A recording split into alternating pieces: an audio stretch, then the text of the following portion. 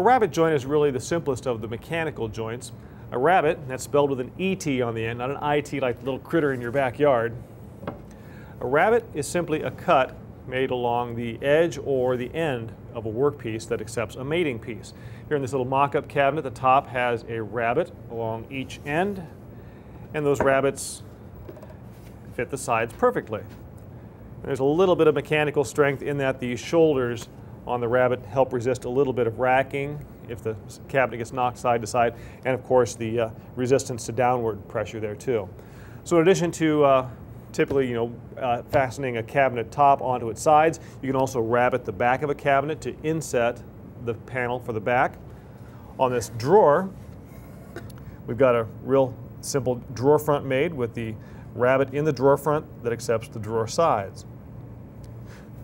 Nice thing about rabbets is they are very simple to cut and you can do them with a variety of tools. You can do it with a handheld router, you can do it on the router table, and you can do it on the table saw, and I'll walk you through all those. We'll start with the handheld router. This router, I've got a special bit, it's called a rabbeting bit. You can see it's got the cutter on it, and what's special about it is it's got this bearing down here. This bearing rides against the edge of the workpiece, and the different diameter of the bearing and the cutting edge of the bit is the width of the rabbet. So, you can change out bearings, buy bits with different size bearings so you can cut rabbets of different widths. Let me show you how this works. It's really pretty simple.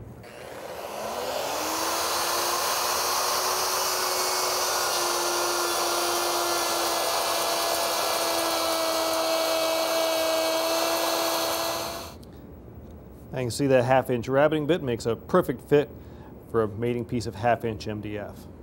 Next method is to use, if you don't have a rabbeting bit like that, you have a straight bit in your bit cabinet. A straight bit can also be used to route a rabbet along the edge of a workpiece. The one thing you'll need to do though is add a way to guide the router. I'm going to change out the bits and we'll get set up for that. I've mounted a 3 quarter inch straight bit in the router now and when you're routing a rabbet with a straight bit, you need some way to guide the router so that it just doesn't go dancing all across the panel, ruining the cut. With a rabbeting bit, you had the advantage of a built-in bearing that rides against the edge of the panel. With a straight bit, there's no such thing. So we need a uh, way to guide that bearing, guide that bit rather. And this simple jig is a very handy item to have in your shop. This is just a couple pieces of MDF. One's the top piece is a fence, the bottom piece is a base. Glue and screw the fence to the base. You want to make the fence about a little wide so you can have enough room to, for clamps back here without interfering with the uh, base of the router. And the width of the base is determined by the distance from the cutting edge of the bit to the edge of your router base, two and a half inches in this case. So when I made this jig, I made it so it extended a little more than two and a half inches past the fence. Call it two and five eighths. Then I took the router in my router bit in my router and I trimmed that edge. So now I know exactly where that three quarter inch bit is going to cut when I run the base of the router along that fence. One other advantage to using a straight bit to cut a rabbet is that you can cut a rabbet that is actually narrower than the bit. Even though this is a three quarter inch bit, I'm going to cut a rabbet that fits three quarter inch plywood. It's called three quarter inch plywood, but it's always just a skosh under. So if you want a rabbet that fits that perfectly, you can do that with this method. Use the piece that's going to fit into the rabbet as a gauge, align it with the edge of the panel, and then just bring the jig right up to the other side. Check along the cut. When you've got the jig aligned, you want to just clamp it in place.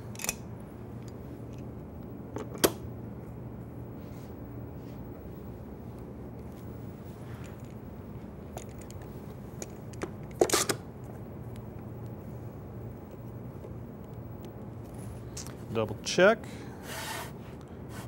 That looks very good. And I'm ready to route this rabbet.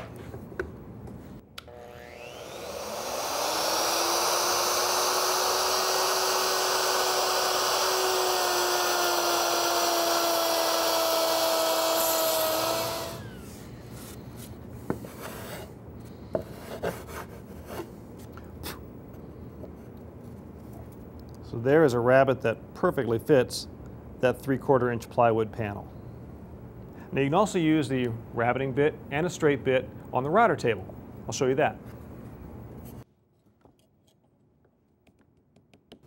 To cut a rabbet with a straight bit, set the height of the bit for the depth of the rabbet, then measure from the outside edge of the bit to the fence to set the width of the rabbet, then lock the fence in place. Then just run the workpiece along the fence to cut the rabbet.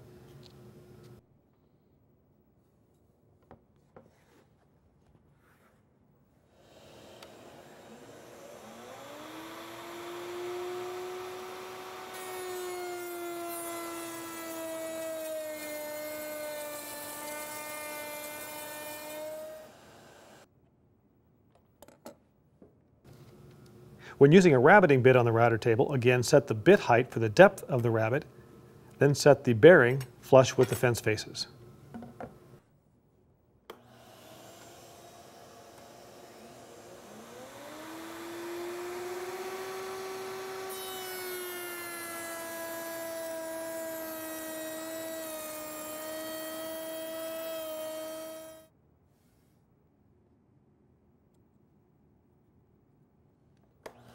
You can also cut a rabbet narrower than the rabbeting bit by simply moving the fence to bury more of the bit.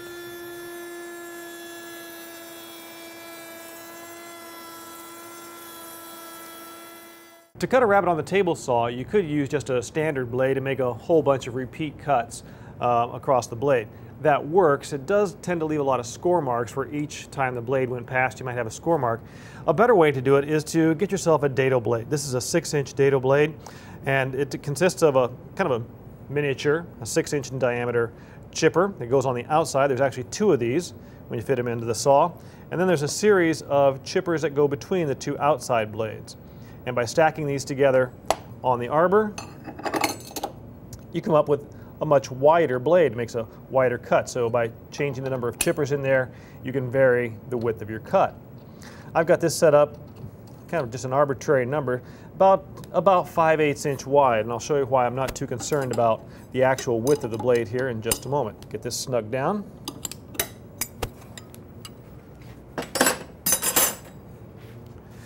With a dado blade, you're going to need a insert that has enough room for the blade to extend through. Now that I've got that set, the next thing to consider is the width of my rabbet. In this case, I'm going to take a piece of half inch MDF and make a rabbet that seats that MDF right in the edge of this plywood panel. I'm going to use the MDF itself as a gauge to set the width of my blade to the fence.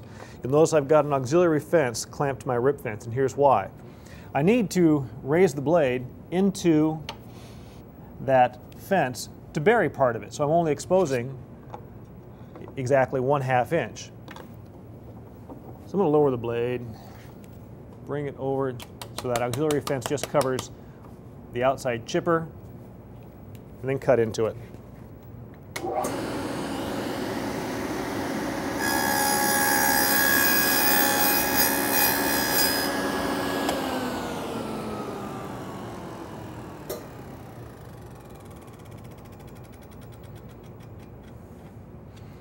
Quick check, I've got it, it looks good. Set my blade height for the depth of the rabbet, 3 eighths of an inch.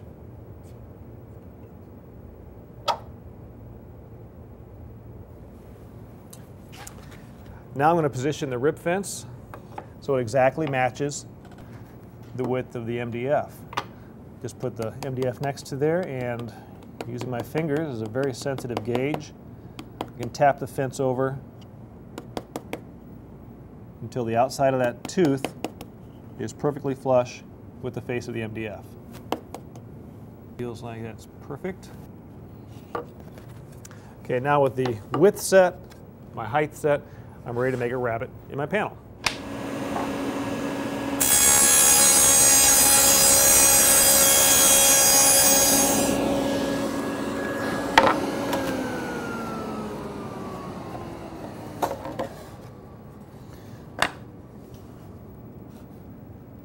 There you can see that half inch MDF fits perfectly in that rabbet. Edges are flush. Now I can even cut a wider rabbet without changing my setup too much, without changing the blade, simply by moving the fence over a little bit to expose more blade. Or if I need a narrower rabbet, push the fence toward the blade. You do want to be careful though that if you've got a blade that's about three quarters of an inch in width and your auxiliary fence is also three quarters of an inch in width, you're not getting too close to your metal fence and you cut into it.